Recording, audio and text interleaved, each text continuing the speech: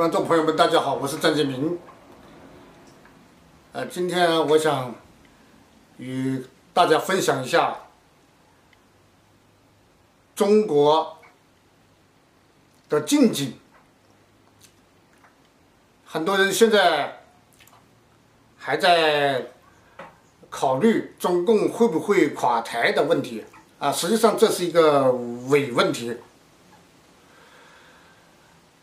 呃，现在习近平有一个新的绰号，叫做“总加速师”。为什么有这个绰号？就是因为他在加速中共的垮台。呃，他在加速中共的垮台，不仅仅是这个反对派人士的一厢情愿，而是。这个并不是反对派人士、民运人士，呃，单方面给他起的一个绰号，而是中共党内对他就也有这样的共识。呃，你比如说这个，呃，邓朴方、任志强。他们都对习呃对习近平有着这样的共识，就是认为习近平在葬送共产党的主业。那么随着习近平的这个倒行逆施，他越来越危急的这个。中共高层七大寡头的这个既得利益，中共中央内部它必然就会发生内爆，啊，具体具体的说就是反习近平的政变和暗杀不会等太久的，这个绝对会发生的，呃。这可以说是一种宿命，因为你无法控制一切，你即使控制了控制了这个党政军特勤，你也无法控制这个高层的图谋不轨，你即使压服了老百姓。你也压不住你这个政权内部，呃，对你的不臣之心，因为任何独裁者他不是神，独裁者他一手遮天是要有条件的，啊，呃，什么条件？你不仅要有这个强大的武力，你也有这个强大的意识形态。像列宁、斯大林，在那个年代，在这个共产主义荒谬性全面暴露之前的那种意识形态的这种魔力，还有人格的魅力，呃，你都没有。那么你想像神那样一手遮天？东方不败，那么是不可能的。但我今天，呃，想说一个话题，很多人认为这是一个冷一盆冷水，呃，实际上，呃，我并不是要泼这个，呃，中国的民主运动冷水，而是一个客观的现实，一个客观的趋势，就是中共垮台之后。呃，中国不会有民主的大一统，呃，而必然会重现民国初年的军阀割据局面。呃，并不是我要泼中国民运的冷水，这是一个客观的趋势。实际上，军阀割据，它也比这个中共专制的大一统要好多了。呃，为什么？简单的说，就是即便是在军阀的独裁统治下，中国的地方政权它有更大的自主性，而且统治者会有更大的责任心。啊，因为军阀割据，它的管理半径很小，啊，而且，呃，地方的军阀往往把地方看作自己的地盘，他会更有责任心，啊，而且因为军阀割据，自由的缝隙要远远多过中共专制大一统之下。啊，那我为什么说这个中共垮台以后不可能有民主的一统，而只会有军阀割据的？因为这个是由合久必分的这种巨大的惯性所决定的。啊，中共国走到今天，实际上已经丧失了。和平演变的机遇，中国和平演变最佳机遇是在一九八九年，啊，那个时候中共垮台，中国绝不会军阀割据，呃，他会在这个新的这个政治改革派，呃，领袖的领导之下，啊，比如说赵紫阳，他会产生统一的新的民主的中国，但现在。中共的统治资源已经完全的耗尽了，呃，首先是共产主义意识形态彻底破产，而后是改革开放的彻底失败，这个以习近平上台为标志。那么他没有这个凝聚国家统一的软实软实力了。现在习近平的，呃，的凝聚力完全是靠利益驱动，还有武力。随着这个经济大环境的大幅滑坡，每况愈下，那么利益收买的驱动力越来越小，他现在越来越多的要依靠的是。枪杆子的威慑力量，以武力的高压维持这个大一统，因为军权暂时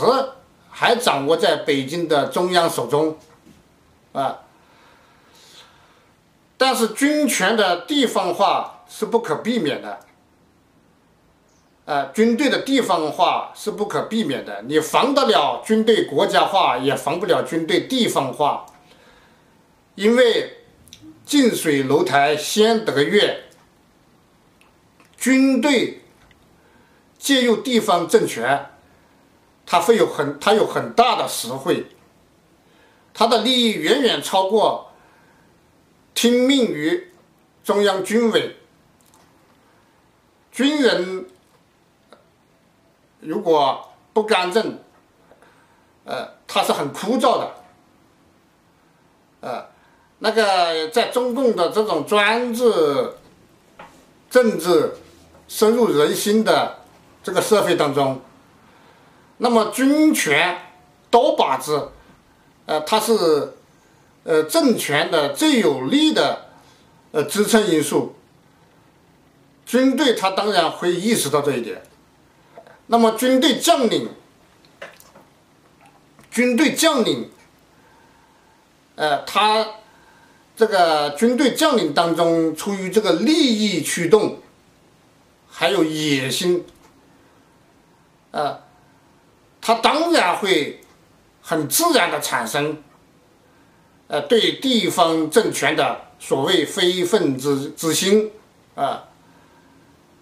再加上这个地方政权当中，总会有这种野心分子。还有在这种呃争权夺利当中失意的人，呃不甘心的分子，啊，他会主动的寻求与解放军地方驻军的结合啊。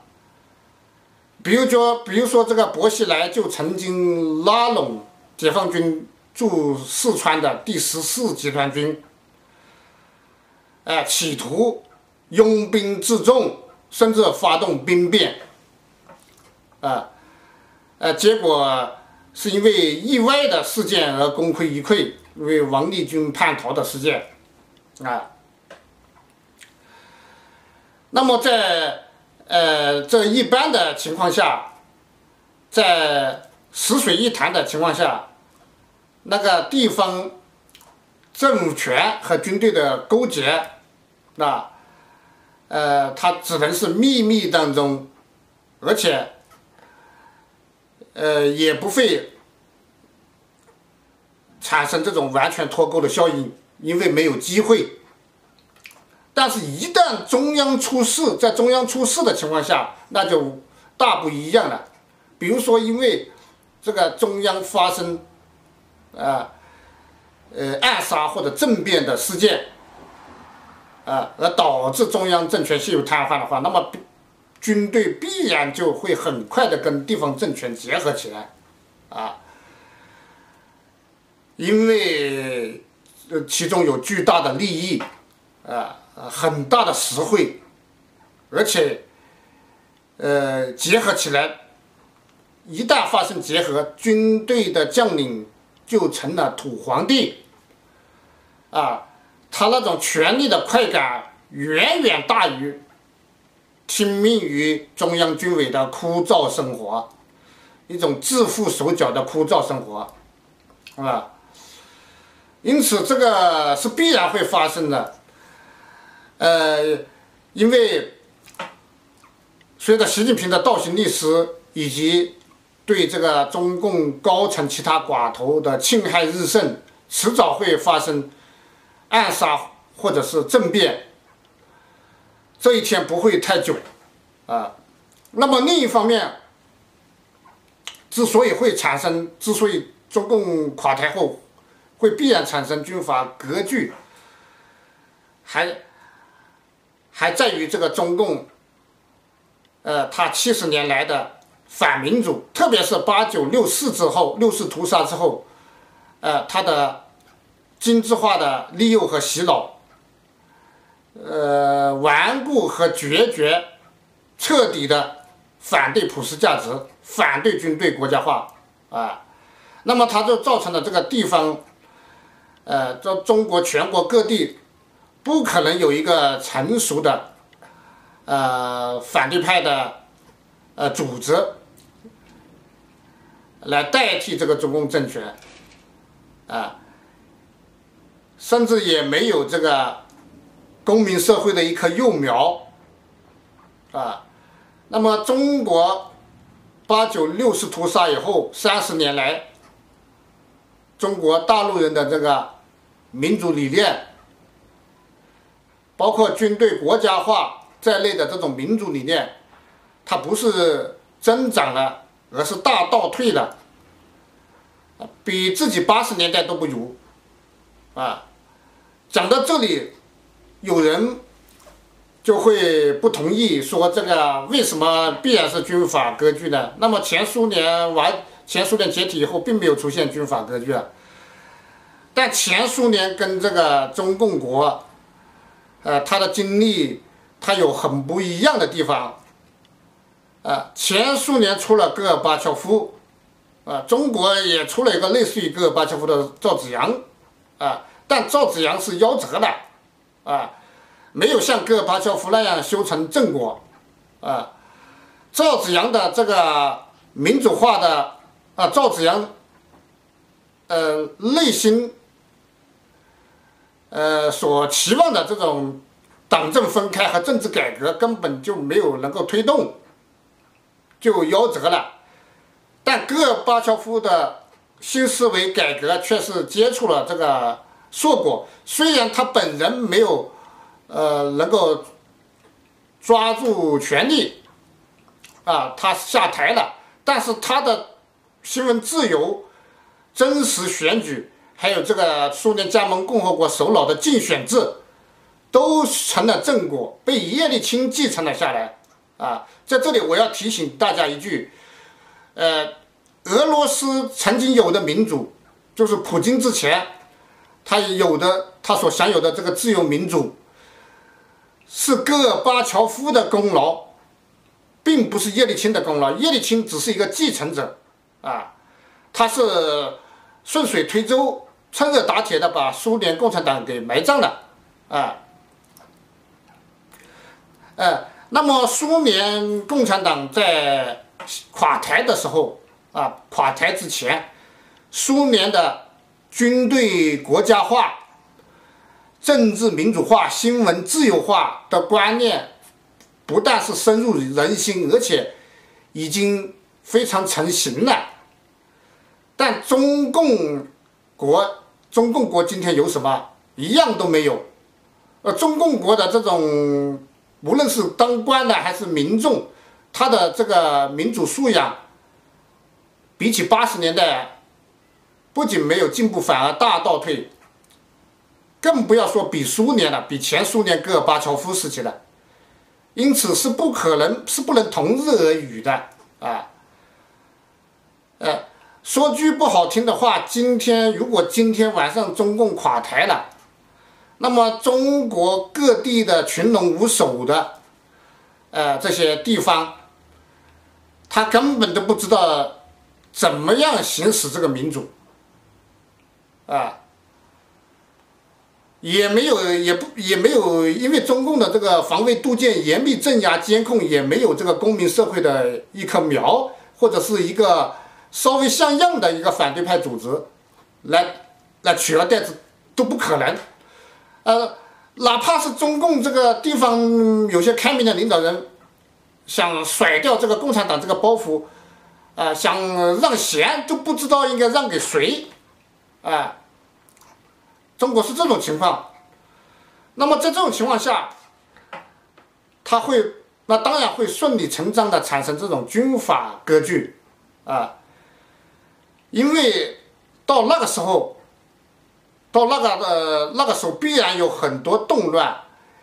只有这个解放军的地方驻军能够稳得住局面，啊，特别是在新疆、在西藏这种边疆地区，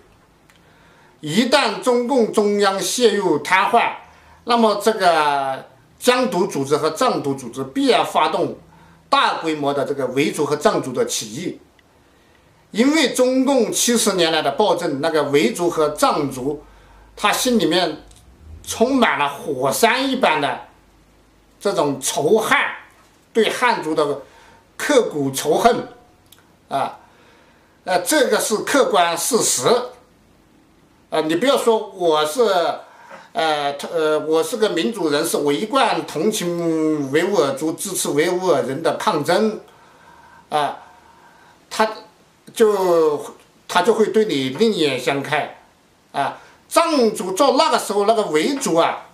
和藏族他屠杀汉人的屠刀，呃，他并没有眼睛，他怎么认？他怎么能够识别你是汉族的老百姓还是中共党员？你是呃支持中共对维族暴政的，还是反对？中共对维族暴政的呢，他根本不会去辨别，啊，他会一律无差别的屠杀，啊，在那个时候唯一的救命稻草，那么就是解放军驻新疆、驻西藏的部队，